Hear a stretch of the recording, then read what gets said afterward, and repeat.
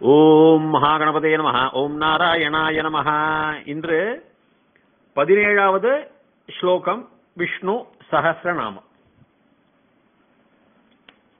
உபேந்திரோ வாமனः பிராம்சுரமோகः சுஷிரூர்ஜிதः अतीन्द्रः सङ्ग्रहः सर्गो धृतात्मा नियमो यमः उपेन्द्रो उपेन्द्रः रामः जयति रामो ஜெயதி உபேந்திரோ வாமனः உபேந்திரः உபேந்திரஹனா உப்பங்கிறது எப்பொழுதுமே சம்ஸ்கிருதத்துல இப்ப உபநிஷத்துனா பக்கத்துல சிஷ்யன் உட்கார்ந்து உப்பம் பக்கம் உட்கார்ந்துட்டு ஆச்சாரியாருடைய அனுகிரகங்கள்லாம் கேட்கறான் உபதேசங்களை கேட்கறான் சொல்லி கொடுக்கறதெல்லாம் கேட்கறான்னு அர்த்தம் ஆனா பல அர்த்தங்கள் இருக்கு. நான் வந்து இப்போ வா- சில புராணங்கள்ல வாமன அவதாரத்துல மகாவிஷ்ணு வந்து வாமனா வர்ற சமயத்துல அவர் வந்து ஆதித்யுடைய புதல்வன் வரும் மகன் வரும். ஆதித்யங்கப்பட்டவங்க அவங்க தாயார் யாருன்னா இந்திரனுடைய தாயாரும் கூட. அதனால இந்திரனுடைய தம்பின்னு சொல்லுவாங்க உபேந்திரனை. பட் அந்த அர்த்தத்துல நான் எடுத்துக்கல. உப்பங்கிறது நிறைய அர்த்தம். பக்கம் மட்டும் இல்ல ஒருத்தனை விட மேலானவன் அர்த்தம். இந்திரனை விட மேலானவன். தேவர்களின் தேவர் அப்படின்னு சொல்லலாம்.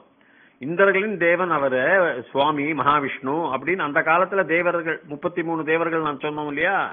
அதுக்கும் மேலானவன் அந்த அர்த்தம் தான் இந்த இடத்துல வரும். அப்படிதான் ஹரிவம்ச புராணங்கள்ல நீங்க சில எழுபத்தாறு சர்க்கத்துல எல்லாம் பார்த்தோம்னா உங்களுக்கு அந்த ஹரிவம்ச புராணத்துல இந்த உபேந்திரங்கிற சப்தம் இந்த வார்த்தை நிறைய வரும். உபேந்திரக உபேந்திரக வாமனக அவர்தான் வாமனன்கிறார். அப்புறம் வாமனகங்கிறது யாருன்னா உங்களுக்கு தெரியும் அந்த வாமன இந்த பத்து அவதாரத்துல அஞ்சாவது அவதாரம் வாமன அவதாரம் நமக்கு எல்லாருக்குமே தெரியும். வாமனன் வந்து என்ன பண்றார்?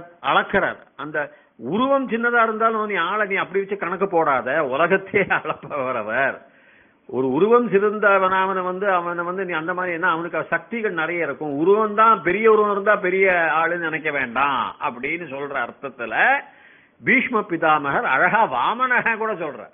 சுவாமி வாமனக எல்லாரும் உருவம் சின்னதாக இருந்ததுனால ஐயா அவனுக்கு அவ்வளவு தூரம் சக்தி இருக்காதுன்னு நினைக்க வேண்டாம். தந்திரங்கள் ம- அவங்க மனோபலம் எல்லாமே இருக்கும். ஆனால் அந்த சின்ன உருவத்தை வச்சு சுவாமி அளக்கிறாரே மூன்று உலகத்தையும் அளக்கிறாரே. அந்த வடுவா இருந்து வடு அதாவது வாமனகனே வந்தது.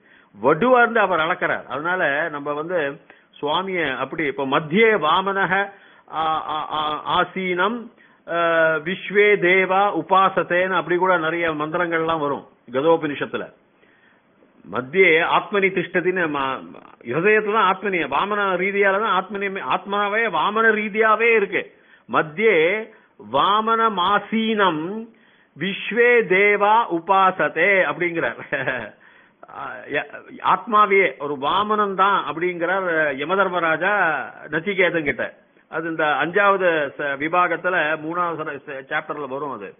அதனால வாமனக அப்படின்னு அர்த்தமே அதுதான். சின்னதா உருவத்தை வச்சு சின்னதா உருவம் தான் நம்ம ஆத்மா எல்லா சக்தி வாய்ந்தது. அதனால சின்ன உருவத்தை பார்த்து நீங்க அந்த மாதிரி கணக்கு போட வேண்டாம் அப்படின்னு. அவர் தான் வாமனக அவர்தான் ஆத்மான்னு பிராம்சுகு இந்த பிராம்சுகுங்கிறது எப்பொழுதுமே ஒரு உரிச்சொல் அது ஒரு அப்ஜெக்டிவ்னு சொல்லுவாங்க. அது வந்து அப்ஜெக்டிவா நம்ம யூஸ் பண்ணோம்னாக்கா இப்போ அத வந்து ரொம்ப ரொம்ப சக்தி வாய்ந்தது. ரொம்ப ரொம்ப ஆஜான பாகுன்னு சொல்ற மாதிரி ரொம்ப சக்தி வாய்ந்தது ரொம்ப தீவிரமானது அந்த மாதிரி சொல்லுவாங்க. ஆனா அந்த பிராம்ச உரிச்சொல்லா வரைச்ச அமோக அமோக குறிக்கின்றது அது. மோக அமோகமா வெற்றி பெற்றான் அப்படின்னு சொல்லுவோம் நம்ம. அமோகங்கிறது ஒரு வார்த்தை சம்ஸ்கிருதத்துல ஒரு என்ன சொல்றாங்க எல்லாருமே அவனிடத்துல இருந்து தான் க- கிளம்பி வரா மாதிரி அமோகம் அப்படிம்பாங்க. நம்ம வெற்றியிலே அமோகம். ஒன்றும் பிழையில்லாத ஒரு வெற்றி அப்படிம்பாங்க. அமோக வெற்றி அப்படிம்பாங்க. அதனால அப்படி ஒரு உரிச்சொல் தான் இதெல்லாம். இதுல. அமோக. அப்போ பிராம்சு அதுவும் உரிச்சொல்ல பாக்குறது ரொம்ப சக்தி வாய்ந்த அமோக வெற்றி அமோக அப்படிம்பாங்க. சுச்சிஹி ஊர்ஜிதக நம்ம சுச்சிஹின்னு எடுத்தோம்னா சுத்தம் பவித்திரம் ஒரு விதமான பாபங்களோ ஒரு பொட்டு அளவு கூட பாபங்கள் இல்லாத அவர் அப்படின்னு அர்த்தம். சுச்சிஹி இருப்பவர். எல்லாமே அவரை சுவாமியை குறிக்கின்றதுதான். அவ்வளவு சுத்தம் நம்ம பார்த்துட்டோம். சுச்சிஹி ஒரு பெரிய வார்த்தை இது சம்ஸ்கிருதத்துல. சுச்சிஹினா சுத்தம் ஊர்ஜிதக அப்படின்னா அளவில்லா சக்தி அவருடைய பவர் ஆல் பவர்ஃபுல் காட் அப்படிம்பாங்க. இங்கிலீஷ் பிலாசபர்ஸ் எல்லாம். எல்லா சக்தி வாய்ந்தவரும் அந்த ஊர்ஜிதக தான். அவருக்கு மேல பிளஸ் ஒன் ஒரு சக்தி கிடையாது. அந்த சக்தி முடிஞ்சு போச்சு. ஊர்ஜிதகனா எவன் ஒருவன் ஊர்ஜிதமா இருக்கானோ அவன் தான் ஊர்ஜிதகன்னு சொல்லுவாங்க சம்ஸ்கிருதத்துல. அந்த ஊர்ஜிதக ஊ அ, ஊர்ஜிதக அப்படிம்பாங்க. அத்தீந்திரக அவன் அதேதான். இந்த இந்திரனுக்கு உபேந்திரனுக்கு மாதிரி தான் அந்த அத்தீந்திரக இந்திரனன் இந்திரன். அத்தீந்திரக இந்திரனை கடந்தவன் அப்படி இந்த இந்த உபேந்திரகன் இந்திரனுக்கு மேலானவன் சொல்லலாம். இதை இந்திரனை கடந்தவன் அப்படிங்கிறது. பகூனிமே ஜன்மானி அத்தீதானி. தவஜார்துனா நம்ம பகவத்கீதால வரும். பகூனிமே ஜன்மானி அத்தீதானி. நான் நிறைய ஜென்மங்களை செலவழிச்சாச்சு அப்படின்னு அதனால அத்தீந்திரகனை கடந்து சென்றவன் இந்திரனை கடந்து சென்ற சென்ற செல்பவன். அத்தீந்திரக அப்படின்னு சொன்னாக்கா அந்த அர்த்தத்தில் எடுத்துக்கலாம். சங்கிரக இந்த சங்கிரக வந்து எல்லாத்தையுமே அனைத்து சங்கிரகணம் பண்றது கிரகணம் பிடித்துட்டு இருக்கிறது. எதெல்லாம் படிச்சுட்டு இருக்கார்? சங்கிரகனாக்கா அந்த சர்க்கக இப்ப இதெல்லாம் இணைச்சுதான் நம்ம பார்க்கணும். சங்கிரக சம் கிரக. கிரகண கிரகணம் பிடித்தல். சர்க்க சர்க்கக விபாகங்கள். கீதையில அந்த சர்க்கம் இந்த சர்க்கம்னு நம்ம தமிழ்லயே சொல்றோம். சர்க்கங்கிறது சாமானிய சாதாரண தமிழ் வார்த்தை கூட நிறைய உபயோகப்படுத்துறோம். சர்க்கம் ராமாயணத்துல இந்த சர்க்கம் படிங்கோ அந்த சர்க்கம் படிங்கன்னு. விபாகங்கள். எதுடைய விபாகங்கள் நம்ம பார்க்கலாம். உலகத்தினுடைய விபாகங்கள். உலகத்தில் எந்த விதமான நான் சதுர்புஜக சதுராத்மா எல்லாம் பார்த்தோம் இல்லையா? எல்லா விபங்க விபாகங்கள் சர்க்கங்களுடைய சங்கிரக அப்படின்னு அர்த்தம். எல்லா சர்க்கங்கள் எல்லா உலகத்தின் அத்தனை சக்திகள் அதாவது நீங்க எலக்ட்ரோ மேக்னெட்டிக் ஃபோர்ஸ் சொல்லுங்க கிராவிட்டி காந்த சக்தி சொல்லுங்க அணுசக்தின்னு சொல்லுங்க சக்தி வாய்ந்தது சொல்லுங்க அக்னின்னு சொல்லுங்க ஒளின்னு சொல்லுங்க எல்லா சக்தியும் அந்த அந்தந்த இடத்துல அளவாக சங்கிரக பண்ணப்பட்டவர். இல்லைன்னா ஒண்ணுக்கு ஒண்ணு இடிச்சுக்கும். நம்முடைய இ- கொஞ்சம் ஜாஸ்தி காந்த சக்தி நம்ம சூரியனுக்கு இருந்தானா நம்மளாம் இன்னைக்கு இருக்க மாட்டோம். நம்மளுடைய உலகமே அங்க சூரியன்ல போய் சரணாகதி அடைஞ்சு அவரோட ஒன்னா ஒண்ணு சேர்ந்துருவோம். அளவா சங்கிரகனா எல்லாருமே அந்தந்த இடத்துல அணைத்து கொண்டு அதுங்களை இயங்க வைக்கிறார். அது அந்த சங்கிரக இந்த பிரபஞ்சத்தினுடைய அர்த்தம். எப்படின்னா சர்க்கங்கிறது விபாகம். இப்போ இந்த உலகம் பூமி ஒரு ஒரு சர்க்கம் நம்மளுடைய இந்த பாலைவனம் ஒரு சர்க்கம். அப்புறம் அதுக்குள்ள சந்திரன் அவனுடைய ஒன்பது குழந்தைகளும் ஒரு சர்க்கம். இப்படிலாம் ஒரு சர்க்கங்கள் நிறைய இருக்கு. பாலைவனம் மட்டும் இல்ல மில்கிவே மட்டும் இல்ல ஆண்ட்ரோமேடா கேலக்சின்னு பக்கத்து கேலக்சி அது ஒரு சர்க்கம். அப்படி சர்க்கங்கள் நிறைய இருக்கு. அதுதான் அந்த சர்க்கக திருத ஆத்மா. அடுத்த வார்த்தையை பார்த்தா அந்த சர்க்கக திருதங்கிறது திரு தாத்து. நான் நான் உடுத்தின்னு இருக்கேன். ஆடையாக உடுத்தின்னு இருக்கேன். உடுத்தி கொண்டிருக்கப்பட்டவன் உடுத்தல் அணிவுதல் வேற ஆங்கிலத்துல. திருதா தாத்து சம்ஸ்கிருதத்துல. திருத ஆத்மா. ஆத்மாவை அணிந்து கொண்டிருக்கப்பட்டவன். எல்லா ஆத்மானா அந்த சக்தியை அந்த ஆத்ம சக்தியை அந்த ஆத்மா என்கப்பட்டதை ஆணி- ஆடையாக அணிந்து கொண்டிருப்ப இருக்கப்பட்டவன் தான் இந்த திருத்த. திருத்த ஆத்மா திருதாத்மா. அ பிளஸ் அ இதெல்லாம் சுவர்ண தீர்க்க சந்தின்னு சொல்லுவாங்க. பல சந்திகள் இருக்கு சம்ஸ்கிருதத்துல. அதனால தான் திருதாத்மான்னு அப்படி உங்களுக்கு நீட்டின்னு வருது. ஏன் திருத திருத ஆத்மா ஆத்மான்னு வருது. திருதாத்மா அப்படின்னு நீட்டின்னு வருது. ஆத்மா திருத பிளஸ் திருதாத்மான்னு உங்களுக்கு வருது. ஆத்மாங்கிறது உங்களுக்கு உங்களுக்கு ஆத்மாங்கிறது ஆத்மா தான் நம்ம ஆத்மாக்குங்கிறது வேற அர்த்தம். நம்முடைய உடம்புல இருக்கிறது ஆத்மா தெய்வீக சக்தி தான் அதுக்கப்புறம் நியமக. நியமக யமக. இப்ப நியமகங்கிறது உங்களுக்கு சரியா பார்த்தானாக்கா நியமம் அப்படின்னு சொல்றது வந்து விதிமுறைகள். சட்டப்படி விதிமுறைகள் சொல்றோம் இல்லையா? இதுதான் இந்த நியமம். டிராஃபிக்ல லெஃப்ட்ல போக கூடாது ரைட்ல தான் லெஃப்ட்ல தான் போகணும் ரைட்ல போக கூடாதுன்னு நம்ம ஊர் நியமம். அமெரிக்காவில் வந்து நேர் மாறான நியமம்.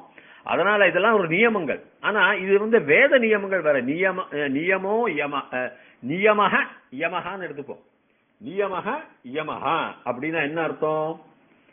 நியமக யமக எல்லாம் பதஞ்சலியுடைய நீங்க அஷ்ட அஷ்டாங்க யோகத்துல நீங்க நம்ம பார்ப்போமே ஆனால் அதுல வந்து யமகங்கிறது பதஞ்சலி என்ன சொல்றாருனாக்கா அஞ்சு விதமான சொல்றாரு. அஹிம்சா சத்தியம் அஸ்தேயம் ஆஸ்தேயம் சொல்லுவா. அஹ், அஸ்தேயம் தான் சொல்லுவா. ஸ்தேனக அஸ்தேனக அஹ், திருட திரு அஹ், ஸ்தேன ஸ்தேய அப்படின்னா அஸ்தேயனா ஸ்தேயன்னா திருடல் திருடுதல். திருடுதல் அஸ்தேயனா அது இல்லாய்மை. நல்லவன். திருட்டு இல்லாம இல்லாமல் இருப்பவன். அஸ்தேனக அப்படிம்பா. அவன் திருடம்பாம்பா அவன் நல்லவன்பா அஸ்தேனக அப்படின்னு. ஸ்தேனக அவன் திருடன் அர்த்தம். இந்த அ- அஸ்தேயம்னு இருக்கு பிரம்மச்சரியம்னு சொல்றார். இந்த அப்பரிகிரகம் மத்தவன் பொருட்களுக்கு ஆசைப்படாம எல்லாம் நம்மளே எடுத்துக்கணும். ஊராம் பொருள் ஆசைப்படா ஆசைப்படாமல் இருப்பவை அபரிகிரக அபரிக்கிரக அப் அ அப்படியே ஆசைப்படுறது. அப்படியே எல்லாத்தையும் எடுத்துட்டு போறது. கிரகிக்கிறது கிரகணம் பண்றது. அ பரிகிரகனா அது இல்லாய்மை. அதுல அஞ்சு இது சொல்லுவார் எமையில நியமகங்கிறது வந்து அது ஒரு ரெண்டாவது பாகம் ரெண்டாவது அங்கம் அஷ்டாங்க யோகத்துல. அதுல வந்து நியம அப்படின்னு சொல்றது வந்து நம்முடைய நம்முடைய வ- பழக்க வழக்கங்கள். அதாவது நம்முடைய சுத்தம் சௌச்சங்கள் சொல்றா இல்லையா? காலையிலிருந்து குளிக்கிறது காலை கடன்களை முடிப்பது சந்தோஷம் நம்முடைய தபசு நம்முடைய ஸ்வ அத்தியாயம் நம்முடைய சொந்த படிப்பு இருக்கணுமா? நம்முடைய ஈஸ்வரனுடைய பிரணிதானம் இருக்கணும். அதான் ஈஸ்வரன் ஒன்று வச்சுக்கிட்ட பூ கோவில்னு வச்சுக்கிட்ட பூஜைகள் பண்ணிக்கிட்டு அந்தந்த ஷோடச சம்ஸ்காரம் பதினாறு சம்ஸ்காரங்கள்லாம் சொல்லியிருக்காங்க ஹிந்து மதத்தில். அதெல்லாம் பண்ணிட்டு இருக்கிறது. அதெல்லாம் அதாவது அஷ்டாங்க வந்து உங்களுக்கு எட்டு இருக்கு. யமக நியம ஆசனம் அதுக்கப்புறம் பிரத்யாகாரம் பிராணாயாமம் அப்புறம் த- தரணம் தியானம் சித்தி சித்திக்கு சமாதின்னு சொல்லுவாங்க. சித்தின்னு வச்சுக்கலாம் நம்ம. சித்தர் யோகம்லாம் சித்தின்னு சொல்லுவா. சமாதி எல்லாம் ஒண்ணுதான் அர்த்தம். அப்படி இந்த எட்டுல ரெண்டு வந்து ரொம்ப இம்பார்ட்டன்ட் நம்முடைய யமக நியமக அதுதான். அதுதான் ஒரு மனிதன் அப்புறம் குறிக்கிறது. அப்புறம் பிரத்யாகாரம் அப்புறம் பிராணாயாமம் அதுக்கு அடுத்து வருது. அதுலதான் அவர் அவர்தான் நியமக அவர்தான் அந்த யமக அப்படின்னு சொல்ற மாதிரி பீஷ்மர் சொல்றார். இப்போ இதை விட நான் அந்த எண்களை குறிக்கின்றேன். உபேந்திரக வந்து நூத்தி ஐம்பத்தொன்னு நூத்தி ஐம்பத்தி ரெண்டு வாமனக நூத்தி ஐம்பத்தி மூணு பிராம்ஷு நூத்தி ஐம்பத்தி நாலு அமோகக நூத்தி ஐம்பத்தஞ்சு சுச்சிஹி நூத்தி ஐம்பத்தாறு ஊர்ஜிதக நூத்தி ஐம்பத்தேழு அதீந்திரக நூத்தி ஐம்பத்தி எட்டு சங்கிரக சங்கிரக அது நல்லா பார்த்துங்க சங்கிரக எல்லாம் அணைத்து கொண்டு கரெக்டா பேலன்ஸ் பண்ணிக்கிட்டு நடுநிலையாக வைத்துக் கொண்டிருக்கு சங்கிரக நூத்தி ஐம்பத்தி ஒன்பது சர்க்கக விபாவம் நிறைய இருக்கு உலகத்துல. நூத்தி அறுபத்தி ரெண்டு அறுபது திருத ஆத்மா. திருதாத்மா. நூத்தி அறுபத்தொன்னு நியமக நூத்தி அறுபத்தி ரெண்டு யமக. அதனால யமகங்கிறது நம்ம வந்து யமன்னு இருக்குல்ல யமகங்கிறது நியமங்கள். நியமகங்கிறது கட்டுப்பாட்டுகள் நமக்கு என்னெல்லாம் சத்தியங்கிறது ஒரு கட்டுப்பாடு. அதுதான் சொல்லித்தரா நம்ம வேதத்துல. கட்டுப்பாடு வந்து சாதாரண கட்டுப்பாடு இல்லை. இதெல்லாம் யமக. அதுல வந்து நான் சொன்ன மாதிரி அஞ்சு இருக்கு. ఓం దీర్ఘాయుష్మాన్ భవ దీర్ఘసుమంగళీ భవ సర్వవ్యాధి నివారణ ప్రాప్తిరస్తు సర్వ ఐశ్వర్యమభివృద్ధిర్భవతు సర్వమంగళాని భవంతు తథాస్తు తథాస్తు తథాస్తు